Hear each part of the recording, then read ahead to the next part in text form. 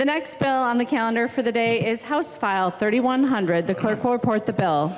House File Number 3100, number three on the calendar for the day, an act relating to retirement, the first engrossment. The member from Ramsey, Representative Her, to your bill. Madam Speaker, uh, thank you so much. Uh, today we are hearing House File 3100. This is the Pension Omnibus Bill. And uh, before I go into just talking a little bit about what this bill does, I want to just say um, a couple of thank yous. Um, I want to first thank the committee members, uh, our senior member, Representative Nelson, uh, Representative Wolgamott, Representative Chan, Representative Berg.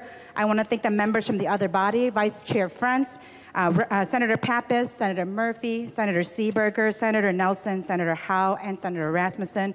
But really special thank you to our GOP uh, members on the House side here, uh, Representative O'Driscoll and Representative Nadeau. Uh, and I, I want to especially call them out because this is uh, a bipartisan, bicameral commission that does really important work. And Representative O'Driscoll, thank you for sharing your knowledge and advice with me. You have been with me every step of the way, sharing all of the information that you have to ensure that you modeled what it meant to have good bipartisan uh, work together and what that looks like, and I appreciate you for that. Representative Nadeau, you are amazingly curious you show up ready to do the work. Pensions is really technical, and it's not the fun work that we get to do here, fighting for certain values or things we think we're fighting for Minnesotans for, but you dug in and you looked at all the technical pieces of it and asked really thoughtful questions every commission hearing. And I want to thank you for that because your engagement gave me the motivation to keep doing the best job that I possibly could. So thank you both so much. And I, I couldn't um, finish saying thank you. And I'm going to say, actually, I'm going to also say thank you to staff, and I'm going to leave somebody very special to the end. Thank you to our nonpartisan staff, Susan Lenczewski and Lisa De uh, Diesslin. They made me look so good. Uh, everyone said to me I had a great run pension uh, commission. The truth is, is they were the ones who made our pensions commission run really well. Um, also to our partisan staff, John Beeler, my CA, Nick Stumo-Langer, who I could not have done this without him. He is just a wealth of knowledge. I was like, Nick, how long have you studied pensions and finance? And he said, just when I started working with you. And so someone who can pick up that expertise in that short time is just invaluable. Thank you, Nick. And then also Senate staff, Ryan Majerus, who just was you know, with us, continually ensuring that the Senate was in lockstep. But I also want to just say thank you to Speaker Hortman. Uh, your belief in my vision, I could never have imagined that, uh, that buy-in would be so quick. That when I came to you and said, I, won't, I don't want to be chair unless we do certain, these certain things, and you didn't even hesitate to say yes. And for all of you who uh, may not know this story, when Speaker Hortman asked me to chair pensions, I had said, well, I will only do it if we consider these specific things. I said I needed a CA, and she gave me a great CA. Um, I said I needed people to be appointed to the commission early so that we can meet uh, regularly. We needed regularly dedicated time, which we got 8.30 in the morning on Mondays. So exciting.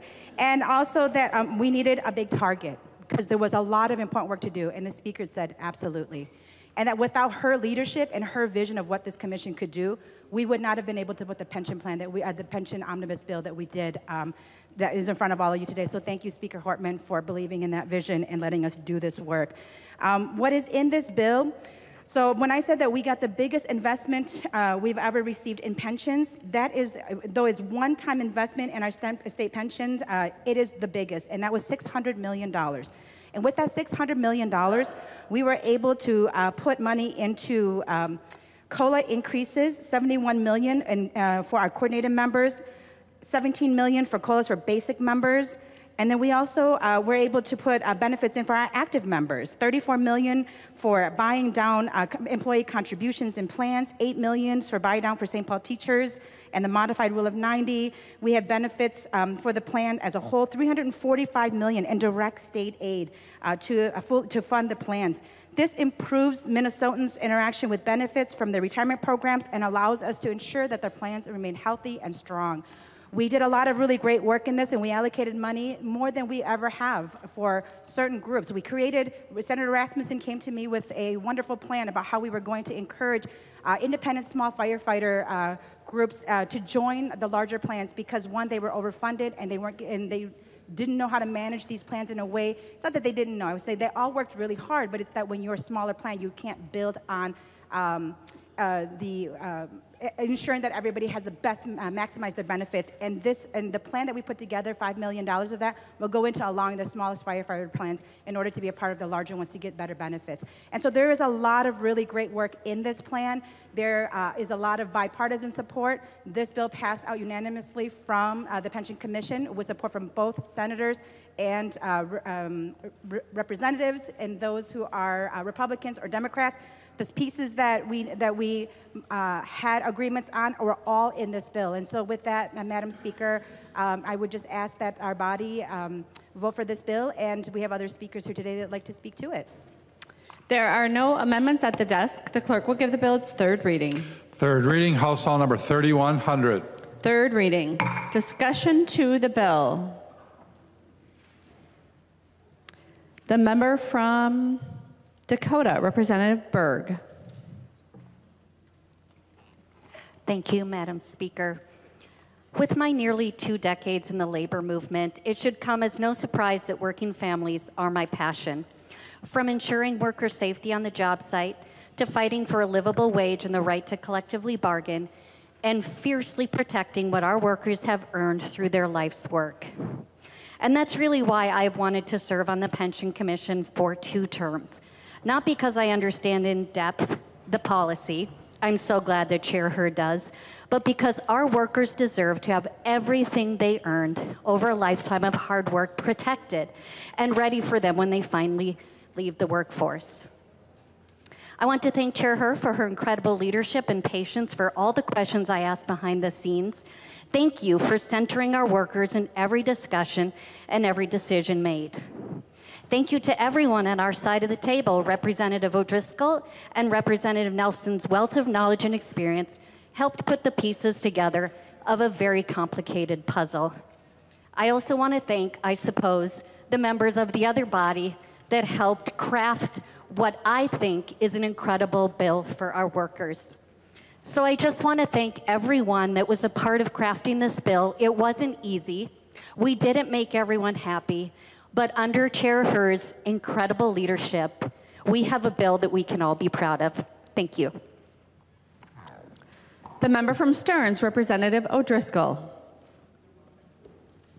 Well, thank you, Madam Speaker and members. Um, I have served on the Pension Commission ever since I've um, come to the legislature. And my story is um, I've been a pension geek since I was in high school. Uh, my parents are both involved in public employment and were involved in this thing called PERA. Uh, my dad was in police and fire, and my mom was in the PERA general plan. And I became kind of intrigued by what, what are those plans, how do they work, and, and I was questioning my parents, and they said, oh, we get this literature in the mail about every quarter, we're going to give it to you, you read it, you tell us what this is all about. And so I've always had an affinity for what I consider doing the right thing when it comes to uh, public pensions. And we don't always have a smooth, smooth road ahead of us when it comes to these kinds of things. We also know that we're dealing with people in their retirements as we're moving forward. And I've enjoyed working with you, Chair Her, um, and I appreciate your um, open door policy and, and um, allowing me to share some of my experiences and the wisdom that I have, um, as well as some of the things to avoid and the pitfalls of, of how to do this job. And you've been very open to that. And so I appreciate that. Um, the other part of this is we are being able to buy down unfunded liabilities and pensions in the state of Minnesota and we're going to go from 7.5 to 7% as our anticipated return. And if you're still tuned in with me after that wonky little, you know, finance part of this, that's extremely important to the state of Minnesota. It helps us to ensure that when the state of Minnesota goes and does business, and the folks from MMB go out to New York and they talk about selling bonds, that Minnesota stands head and shoulders above other states with financial and fiscal responsibility. A AAA credit rating is something that I have worked very hard on pensions to preserve, and we continue to enjoy that. And with this bill, if we uh, pass it here today and the governor signs it, we'll continue on that path for um, meeting our obligations for folks here in the state of Minnesota who are involved in our public pensions, and it will also help preserve the credit rating here in the state of Minnesota, both of which are important to me. Madam Chair, Madam Speaker, and members, I recommend a yes vote this afternoon on House File 3100. Any further discussion? The member from Ramsey, Representative Her.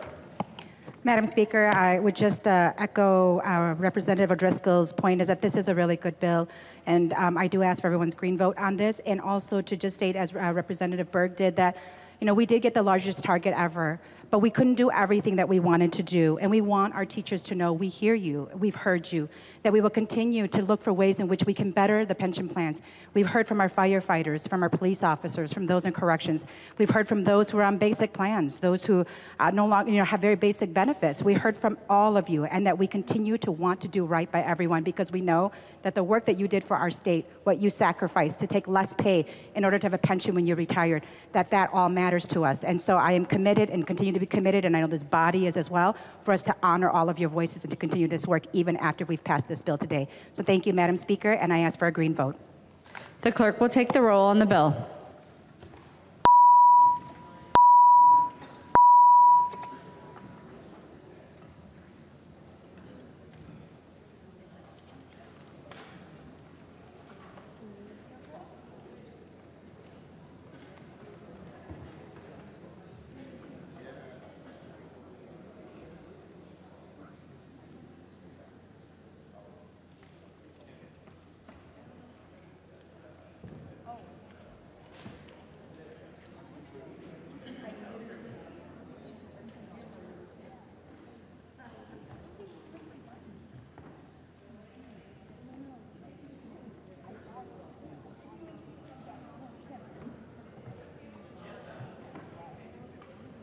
The clerk will close the roll.